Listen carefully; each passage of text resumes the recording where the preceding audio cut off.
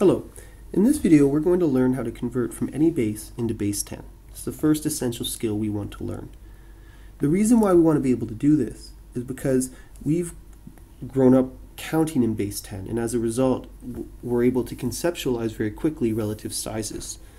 Um, really, the reason why we use different bases in computer science is because of convenience, and a computer has to work in base 2 for some technical reasons we'll talk about later. So if we look at look here, we have 314 and that's in base 10. We have 10101 in base 2 and the problem is I have no idea how big that really is. Likewise, we have 321 in base 4. Again, I have no idea how big that is, so we're going to convert these two into base 10. But first, I'm going to take a look at 314 and write this in a way that many students learn when they're younger.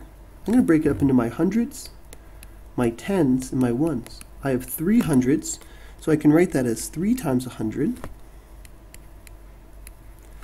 I have one ten, so I can write that as 1 times 10. And I have four ones, so I can write that as 4 times 1.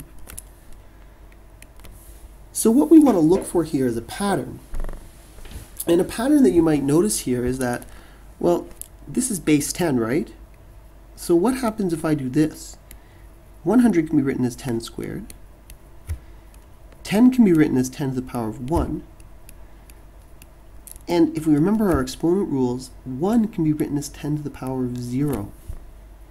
And so what we see is we have 314 can be broken up and written in this format. And that is, that is the idea that allows us to convert a number in any base back into base 2. Because the thinking is that in base 10, the units are represented, my units are tens.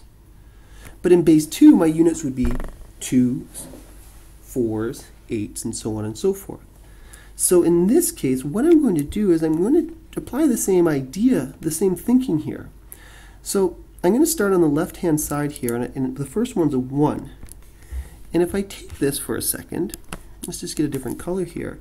If we think of this as 0, 1, position 1, position 2, position 3, and position 4, I can think of this as 1 times 2 to the power of 4 plus 0 times 2 to the power of 3 plus 1 times 2 to the power of 2 plus 0 times 2 to the power of 1 plus 1 times 2 to the power of 0.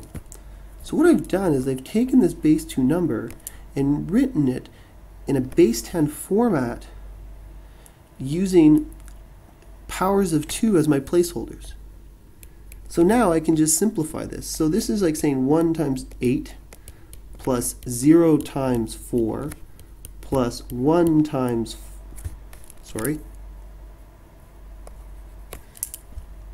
16, 0 times 8 plus 1 times 4 plus 0 times 2 plus 1 times 1 and then I can rewrite this as 16 plus 4 plus 1, which is 21.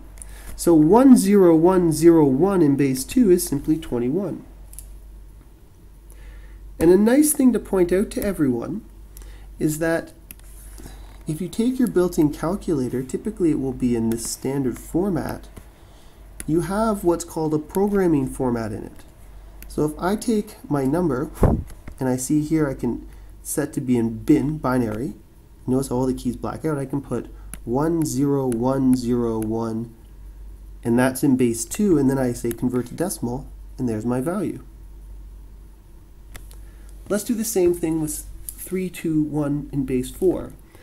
So again, if I get one color here, a red, the 1 is in the zeroth position, the 2 is in the 1 position, and the 3 is in the 2 position.